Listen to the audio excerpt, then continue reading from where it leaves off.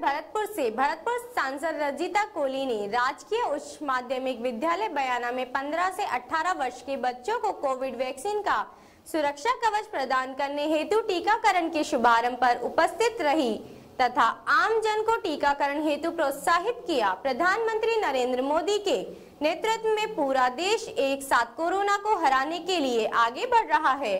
आज से देश भर में 15 से 18 वर्ष के बच्चों को कोविड वैक्सीन का सुरक्षा कवच प्रदान करने हेतु टीकाकरण शुभारंभ हो गया है।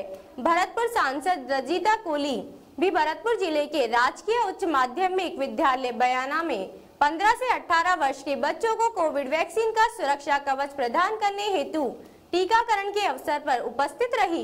इस अवसर पर भारतीय जनता पार्टी के बयाना विधानसभा के सभी मंडल अध्यक्ष एवं अन्य कार्यकर्ता भी विधायक विद्यालय में उपस्थित हो रहे हैं। भरतपुर सांसद रंजीता कोहली ने सभी क्षेत्रवासियों से अपील की कि वे अपने 15 से 18 वर्ष के बच्चों को टीका अवश्य लगवाए। इस टीकाकरण के दौरान सांसद कोहली के विधायक में उपस्थित रहने पर बच्चों में उत्साह रहा तथा इस अवसर पर आमजन एवं टीका लगवाए।